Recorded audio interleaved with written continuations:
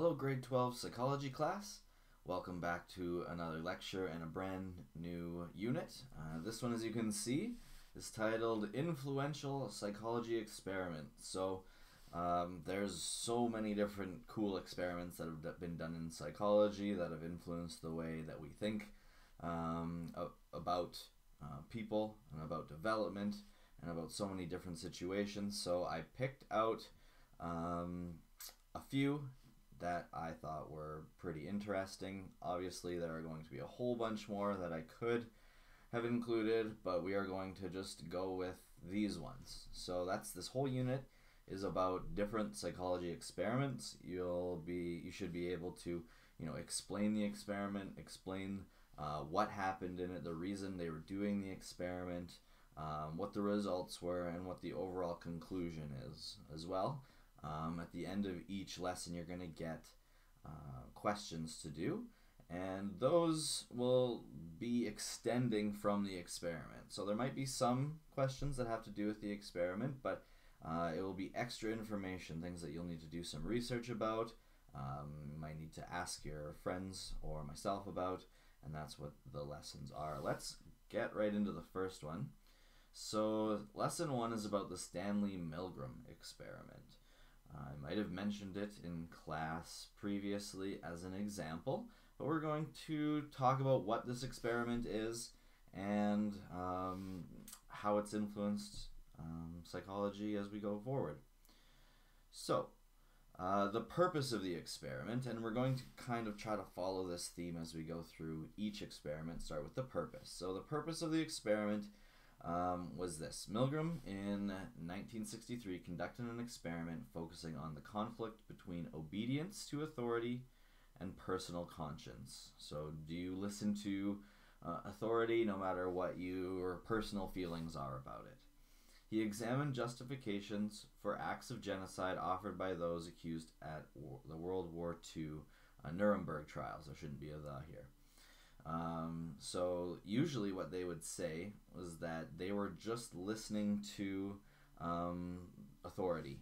They had like it wasn't their choice. They were just doing what they were told, and you know if they didn't do what they were told, they were going to be punished. So they they just were obedient. So their defense was often based on obedience, that they were just following orders from their superiors.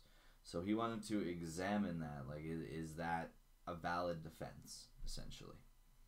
So the procedure, what he did.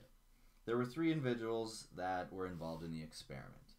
Um, the first was the experimenter, so he'd be involved in all of the experiments, and he would be in charge. Wear a white lab coat, um, be the authority figure. So experimenter is key point two, and then teacher and learner are key, is key point one that we also got on this slide. So the experimenter was the person in charge, running the experiment in a lab white uh, lab coat. He was the authority figure.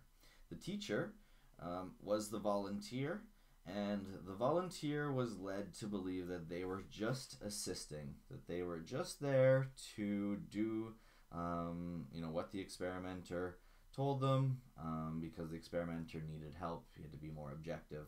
That's what they thought that they were doing, um, but they were actually the subjects of the study. So the teacher was the person that the experimenter was studying, but the teacher didn't know it. They thought they were just helping out. The learner was an actor in the experiment, and he pretended to be a volunteer. So we're going to get into what there what actually happened next. So the experimenter was the authority figure, the teacher is the subject that we're studying, and the learner is an actor. And this is how they were set up. So this is the experimenter. He's at his desk doing his thing. This is the teacher, who is the person we're studying, and he's got a switchboard, and it's got actually different electric volts on it. So there was, I don't know, from about 100 or less to 450, which is a lethal, um, a lethal amount of electricity. And then there's a wall here, and you can see that the electric panel has a wire that it looks like it's hooked up to the learner's chair. And again, the learner is a volunteer, and this is not actually hooked up. So let's get back, let's, let's explain this, and then I'll go back to this picture. So the teacher or the subject and the actor learner arrived at the session together. The experimenter told them that they were taking part in a study to see what the effect of punishment is on the subject's ability to memorize content. Essentially, they were going to see like one person was going to memorize stuff and the other person was going to punish them whenever they got it wrong, and they thought they were going to try to see what that uh, correlation was. Did more punishment make it more difficult to memorize content? So the learner was then strapped into what looked like an electric chair to quote unquote ensure that the learner actor would not escape. Now, um, there was no electricity strapped to this chair, and the learner was an actor, so there was no fear of them actually escaping. This was all just for show, because again, we're studying the teacher, and that's the person who will be uh, administering the shocks. So, the teacher asks the learner questions, and for every wrong response, they are instructed to administer a shock. In reality, there were no shocks. So, we have the teacher here administering shocks to the learner whenever the learner gets something wrong. In reality, there are no shocks. So it's all about this person's reaction. We don't actually want to hurt the learner. If at any time the teacher indicated a desire to halt the experiment, the experimenter gave prods. And these prods were these in order. So essentially, as you'll see from the videos that um, are assigned at the end of the lesson, uh, the actor or the learner would be like screaming in pain, saying no, help, uh, asking them to stop, um, and this would you know cause the teacher to you know be like, whoa, should I do this or not? And if at any time the exper- the teacher thought that they should stop, the experimenter would say these: please continue. The experiment requires that you continue. It is absolutely essential that you continue. And then lastly, you have no choice you must go on. So essentially, the authority figure, which is key point three, the authority figure was giving these prods to see if this would be enough to cause the teacher to keep administering shocks. So we have the teacher here administering fake shocks, the learner sometimes crying out for help, screaming in pain, and the experimenter telling the teacher to keep going. You must continue. It is absolutely essential that you continue and then observing what this person does. So the results, what actually came of this. So in the in Milgram's first set of experiments, uh, this has been reproduced several times. Uh, 65% or 26 out of 40 of the experiment's participants administered the experiment's final massive 450 volt shock. This is after the learner screaming for help uh, pleading not to be shocked anymore, screaming every time that there was a shock and pain. Um, 65% of people followed or orders and administered a massive 450 volt shock. Subjects were uncomfortable doing so and displayed uh, varying degrees of tension and stress. Um, and these signs could have included anything involved here. So sweating, trembling, stuttering, biting their lips, groaning, and digging their fingernails into their skin. And as you'll see in one of the videos when they reproduced the experiment uh, much more recently, um, nervous fits of laughter, which uh, are very common when someone is nervous. So the conclusion, um, and this is straight from Milgram himself.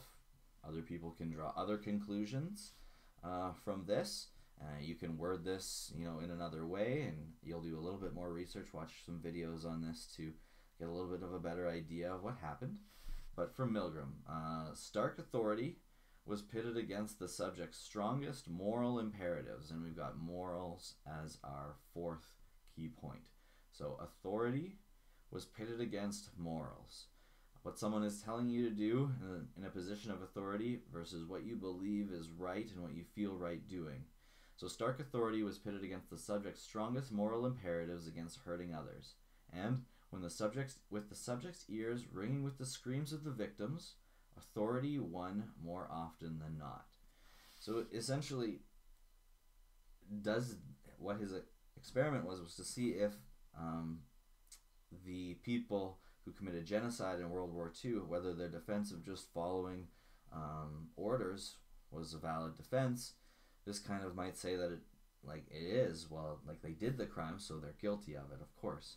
But following orders is a very powerful um, incentive you know it, it causes people to do things that are against their morals that they know is wrong.